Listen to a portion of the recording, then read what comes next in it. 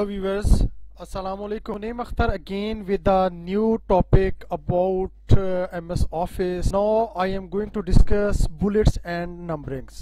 جی ناظرین آج ہم جو ہے سیکھنے جا رہے ہیں وہ ہے بلٹس اینڈ نمبرنگ آپ لوگوں نے ایم ایس ورڈ میں بلٹس اور نمبر کو یوز کرتے ہوئے ڈیفیکلٹی فیس کی ہوگی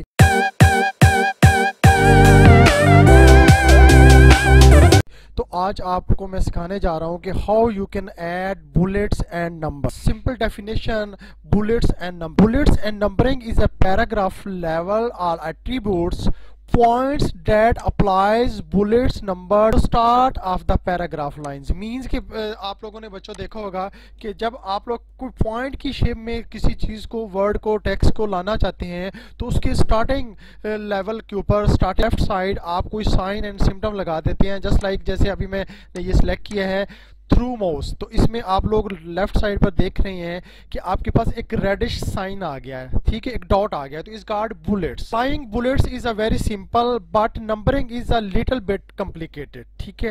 How to add the bullets there are normally four steps in first steps place the mouse cursor to the specific location means جہاں پر آپ نے بلٹس لگانا ہے، وہاں پر آپ نے اپنے ماؤس کا کرسر کلک کر دینا ہے۔ And second steps move your cursor to the home tab after that جب آپ نے اس کو اپلائی کرنا ہے تو پھر آپ نے کیا کرنا ہے؟ وہاں پر کرسر رکھنے کے بعد آپ نے اپنی جو ماؤس ہے، اس کو ہوم ٹیب پر لے کر جانا ہے جسٹ لائک جیسے ہم کلک کرنے لگا ہوں جسٹ لائک ہوم ٹیبس ٹھیک ہے جی؟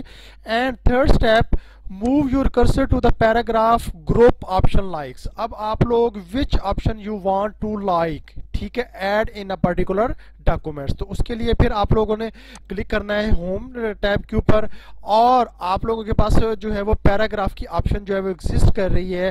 وہاں پر آپ لوگ دیکھیں تو بہت سارے ملٹیپل آپشنز اویلیبل ہیں۔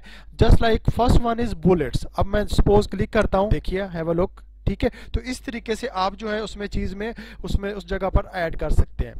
Click on the desirable option اور اس کے بعد آپ نے جو بھی ڈیزائرڈ آپشن آپ کو چاہیے ہوگی، آپ نے اس کے اوپر جو ہے وہ کلک کرنا ہے۔ ٹھیک ہے جی؟ اب میں اس کی جو ہے وہ پریکٹس کرنے جا رہا ہوں۔ تو اس کی پریکٹس کے لیے جسٹ آپ نے ایک آپ کے پاس ورڈ ہونی چاہیے، ٹھیک ہے؟ ورڈ کی فائل اوپن ہو چاہیے، ہونی چاہیے۔ اس کے بعد آپ کو چاہیے کہ آپ لوگ کیا کریں جی؟ جسٹ لائک جیسے آپ کا ماؤس کا کرسر جو ہے وہ بلنک کر رہا ہے۔ سپوز میں کلک کرتا ہوں، یہاں پر ایڈ کرنا ہے، تو میں نے ہوم ٹیب پہ کلک کیا۔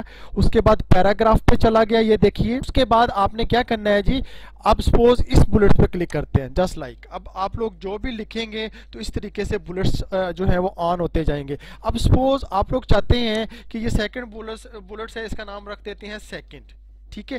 اب آپ لوگ چاہتے ہیں اس سیکنڈ کی ایک فردر جو ہے سب ٹائپ بنانی ہے، تو وہ یہاں پر آپ نے ٹیب کی کو پریس کرنا ہے جسٹ لائک سنگل ٹائم اب آپ کے پاس یہاں پر اس کی آپشن جو ہے وہ جنریٹ ہو گئی ہے اب آپ لوگ چاہتے ہیں کہ یہاں پر جو ہے وہ واپس آیا جائے مطلب مینز روٹ پہ آیا جائے۔ تو آپ نے آپ کا کرسر جو ہے یہاں پر جو آپ کی سب آپشن ہے، یہاں پر آپ لوگ رکھیں، اس کے بعد انٹر پریس کریں۔ اگین پھر انٹر کی پریس کر دیں گے۔ تو آٹومیٹکلی آپ لوگ جو ہے وہ مین ہیڈنگ کے اوپر جو ہے وہ ریزائڈ کر سکتے ہیں۔ Don't miss to subscribe and share with your fellow لوگ۔ آنے والی ویڈیو جو ہیں وہ دیکھ سکیں اور لرننگ